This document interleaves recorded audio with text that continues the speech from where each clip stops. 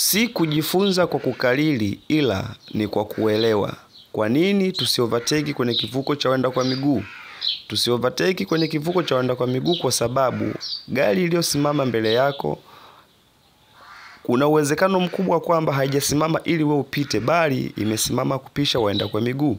Unavyomovateki, kuna uwezekano mkubwa kugonga watu wanaotembea kwa miguu wakivuka barabara. Vile vile hata kupiga honi hairuhusiwi. Lakini pia kwenye kivuko cha reli au railway crossing hatu hatutakiwi kuovertake kwa sababu aliyesimama mbele yako inawezekana amesimama treni ipite. Unavyotaka kuovertake unahatarisha uhai wako vile vile. Okay, sasa kwenye hizi sheria kumekuwa kuna sheria mbalimbali ambazo zipo kwenye hizi alama, lakini sasa tumeishia kuzikalili tu, hatujaelewa kwa nini ikatazwe. Sheria ipo, kwa nini inakataza? Kwa nini inakataza tusifanye hicho kilichopo kwenye kwenye kwenye kwenye kwenye alama husika?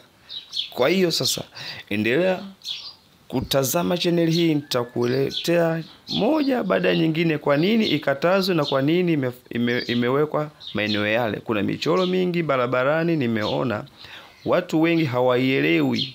Kuna michoro ya rangi ya bluu, kuna michoro ya rangi ya njano, kuna michoro miekundu, kuna michoro mieupe. Kila mchoro una maana na rangi yake.